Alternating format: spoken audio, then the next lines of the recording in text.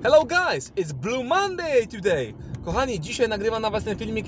Ponoć dzisiaj jest jakiś Blue Monday, czyli dosłownie niebieski poniedziałek.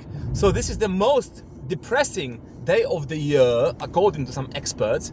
Według tam niektórych ekspertów to jest najbardziej depresyjny dzień tygodnia, e, roku, przepraszam, e, of this year, ok? Unbelievable. Naprawdę ludzie w to wierzą. To jest niesamowite. Zaraz będę mówił o językowej wskazówce dla Was.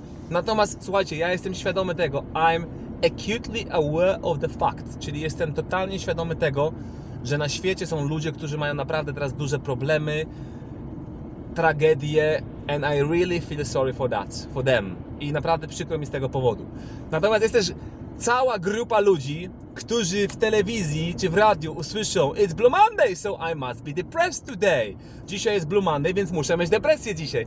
That's fucking shocking, unbelievable. To jest nieprawdopodobne. Jeżeli macie takie podejście, congratulations on you, okay? ale my dzisiaj się uczymy też angielskiego, więc właśnie celowo dla Was nagrywam w poniedziałek, jest godzina 11.51, jadę swojego fizjo na cotygodniowe do Dawidka e, na cotygodniowy masaż, recovery i tak dalej. Nagram dla Was filmik. Szybka wskazówka językowa. Słuchajcie, jak powiedzieć po angielsku, że kiedyś coś robiłem, a teraz tego nie robię. Mam na myśli na przykład, że no nie wiem, kiedyś ktoś mówi, kiedyś paliłem papierosy, dosłownie zwykłem palić papierosy kiedyś. Bardzo proste. I used to smoke. I used to smoke. Used to smoke. I used to smoke. Oczywiście notatka treningowa będzie pod tym filmikiem na mojej stronie www.kornelpaszkiewicz.pl, więc można wysłuchać i też sobie przeczytać. Czyli patrzcie, jeżeli mówię I used to smoke, jak zrobić przeczenie, że nie paliłem nigdy kiedyś, nie miałem tego zwyczaju, czyli nie zwykłem palić. I didn't used to smoke. I didn't used to smoke. Czyli wiadomo, didn't do czasu przeszłego i z tego used ta końcóweczka ed nam wraca bez tej końcóweczki d, czyli I didn't used to smoke. I pytamy się kogoś, czy kiedykolwiek paliłeś, czy kiedyś paliłeś, czy w przeszłości zwykłeś palić, to mówimy e, Did you used to smoke? Did you used to smoke? Czyli patrzcie, I used to, I didn't used to, did you used to. I tak można zrobić z każdą osobą. Na przykład jeżeli mówimy, że on kiedyś grał w piłkę, nie wiem, były piłkarz, powie, że powiemy o byłym piłkarzu, że on kiedyś grał w piłkę, on kiedyś zwykł grać w piłkę. He used to play football. On nie grał w piłkę kiedyś. He didn't used to play football. A czy on zwykł, miał w zwyczaju, czy grał kiedyś piłkę?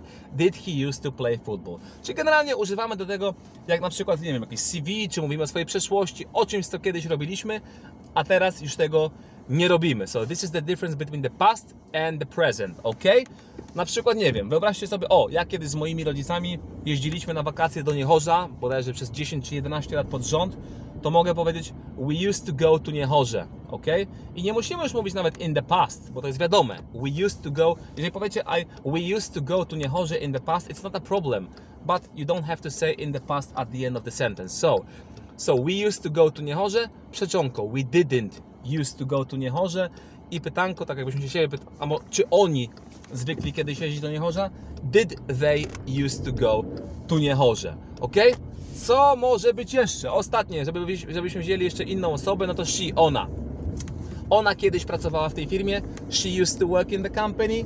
Ona nie pracowała w tej firmie kiedyś. She didn't used to, go, to work in the company. She didn't used to work in the company. No i pytanko, czy ona zwykła pracować w tej firmie? Did she used to work in the company? Easy peasy lemon squeezy. Jak wiecie, angielski jest prościutki, łatwiutki, kiedy uczycie się go systematycznie. I tak jest z życiem. Słuchajcie, no dzisiaj strasznie mnie denerwuje jakiś Blue Monday. W ogóle ee, tak, żeby skończyć. Słuchajcie, chcę, żeby te filmiki były rozwojowo, języko, językowo-rozwojowe, dlatego też czasem takie wskazówki daję. To, jaki Wy dzisiaj macie Blue Monday, to zależy, nie mówię o tych osobach, które naprawdę cierpią i to już wspomniałem, wspomniałem takie osoby.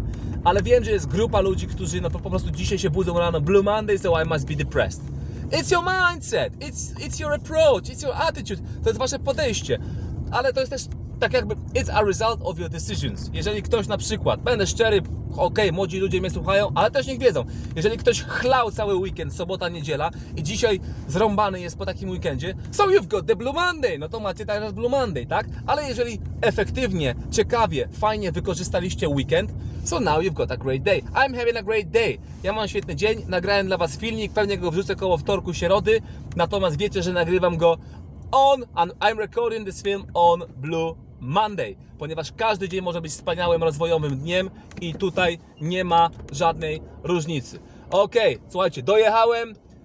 Enjoy the day, enjoy the week, and see you next time. So, I used to be depressed in the past. In the past, you don't have to say. See you guys.